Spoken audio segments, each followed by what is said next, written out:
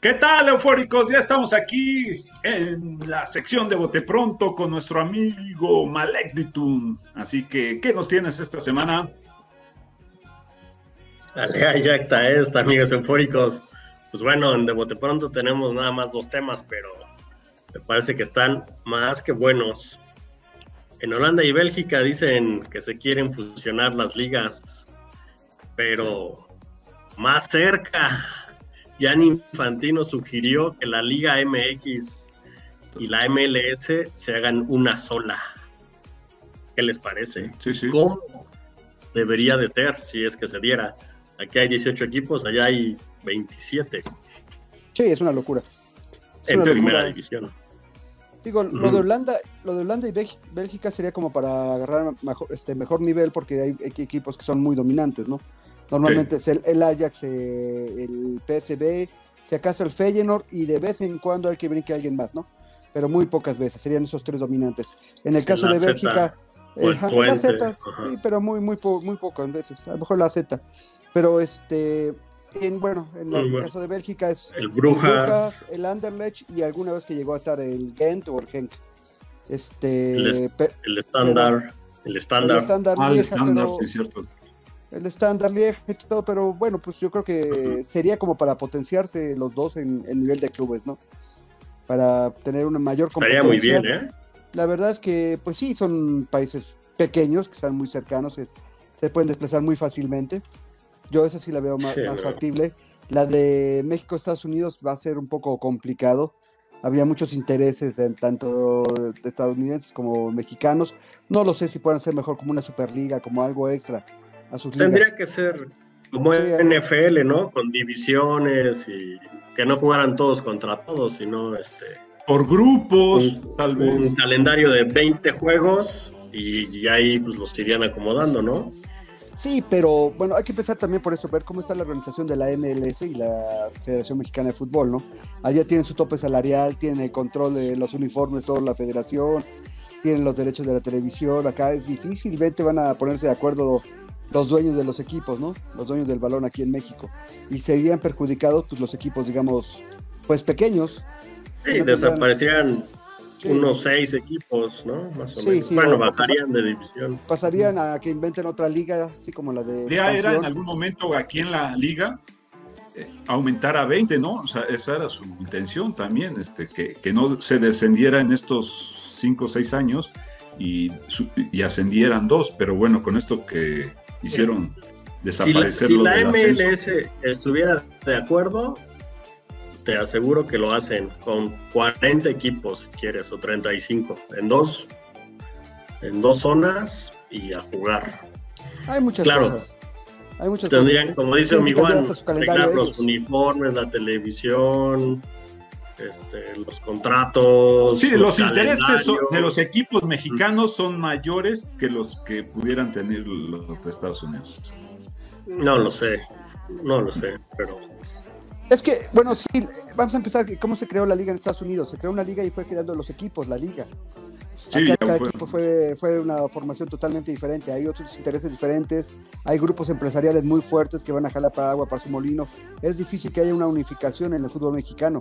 Ya ven cuánto tiempo ha pasado y cada quien, pues, ahora sí que Televisa y TV Azteca y ahora CEMEX y FEMSA, todos, cada quien jala para agua. Para bueno, pero imagínate Televisa ampliando su su público, su cantidad de público. Pero empieza a pensar eso, pero ya pierde, pierde, eh, Televisa ha perdido muchísimo de sus equipos. Antes estaba dividido todo entre Televisa y TV Azteca. Ahora ya lo tienen Fox y lo tiene también de Claro y lo tiene este, ESPN. Hasta imagen, Hasta imagen.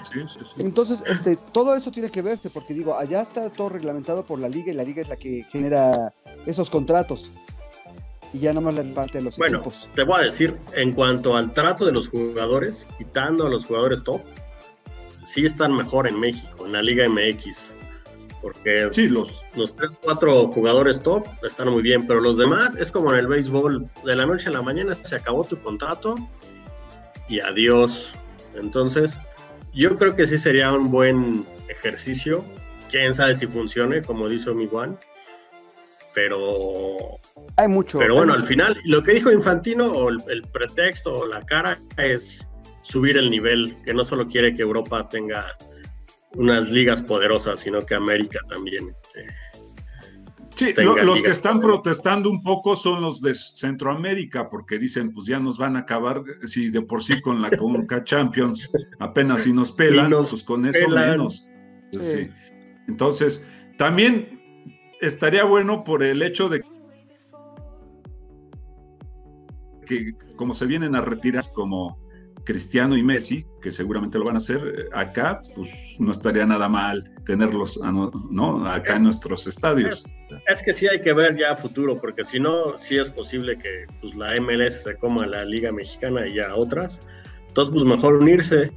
Y por el lado de la Conca Champions, pues es que está muy básica, digo, no sé su opinión, pero la Conca Champions es súper básica. No hay ni fase de grupos. Debería de ser como la Champions, 32. no, pero la quitaron porque nadie iba. Sí, es eso. Que fueras a jugar contra el equipo de San Vicente. Entonces, por eso Bueno, pero pues puedes, puedes hacer una pre, como le hacen ahora, y ya en la de, la de veras. Pero avanza uno de la pre.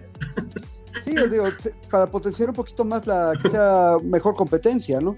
Sí, Yo pienso hacerse ve así, este, y yo, bueno, aquí realmente lo que tendría que hacer la MLS y la Liga MX es buscar regresar a las Libertadores. Si quieres tener buena competencia, si quieres crecer, tienes que competir con lo de Sudamérica. Sí, sí, sí, eso, eh, eh, regresar a la Libertadores. cierto equilibrio, igualdad, porque también pues, los mandan al matadero terriblemente, pero, pero bueno, al final ahí está la idea en la mesa el tema no es la idea, es de dónde viene. Entonces yo creo que sí hay que ponerle mucha atención. Y todavía va a tardar, ¿eh? Va a tardar esto. Pues, no, bueno, yo, pienso que Infantino también quiere, lo hace mucho pensando en el mundial, mundial. conjunto. Claro, también. muy bien. ¿Y qué otra cosa? y bueno, segundo, segundo tema, bueno, segundo y medio, porque ya vimos un poquito de, de los Países Bajos y de Bélgica. Fue el torneo de cuartos de la Champions.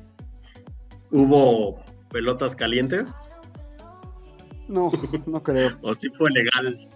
No, no creo, sí fue legal. Si le hubiera tocado al Madrid contra el Porto, contra el Chelsea, sí, he pensado que sí. Sí, sí, exacto. A ver, les, les, voy a decir rápido y me dicen, Bayern, París. Si gana el París, ¿sería una sorpresa? Sí. A, como están los dos equipos, sí, también te pienso.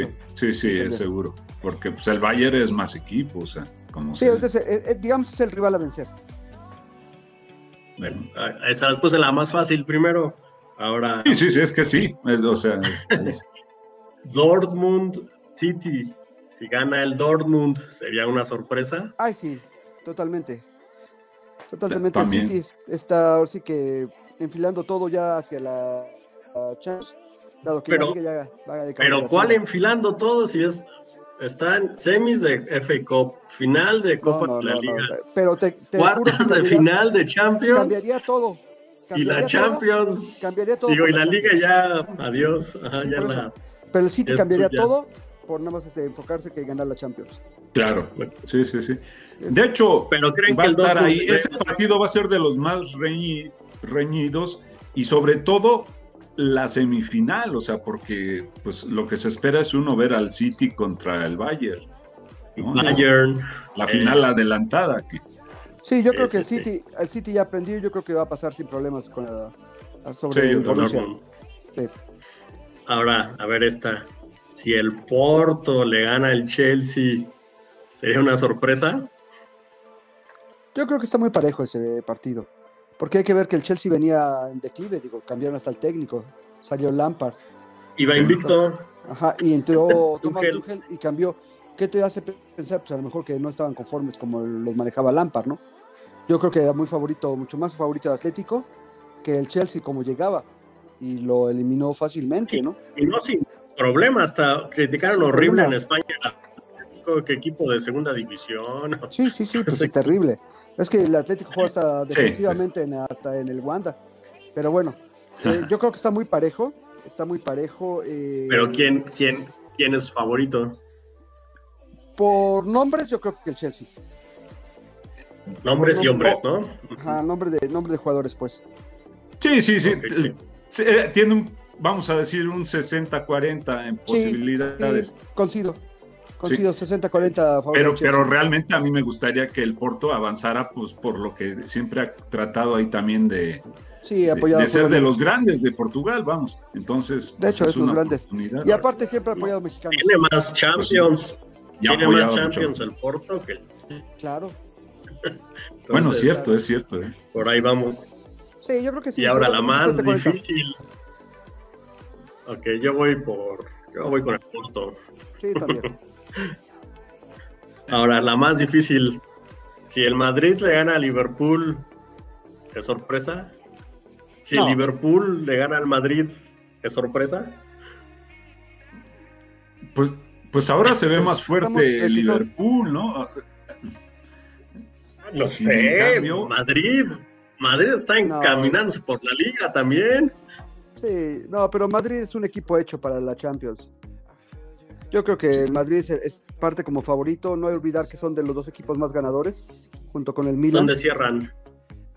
Este, no, no sé, la verdad no sé, no sé el, partido de vuelta. Me parece que es en Madrid, pero ahorita lo checamos rápido. Pero sí, adelante. Sí. pero yo creo que es favorito. Yo creo también diría como el agitador 60-40, pero yo sí vería que es favorito Madrid. Madrid.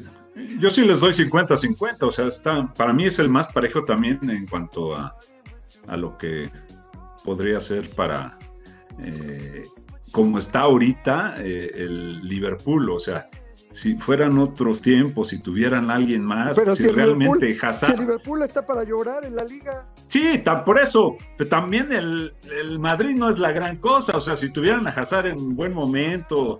Eh, no, Hazard ese no. Pero Benzema está en muy buen momento y Madrid. Benzema está fantástico. Sí, sí, Ramos. es ya jugador. No, es que Ramos no está al 100. No, pero ya está. Yo no lo veo al 100. Ya está de Casemiro está muy bien. Ya también de regreso. está bien, lo digo. yo, creo, yo creo que ya analizándolo, como dice mi Juan, hombre por hombre, el Madrid debería ser favorito.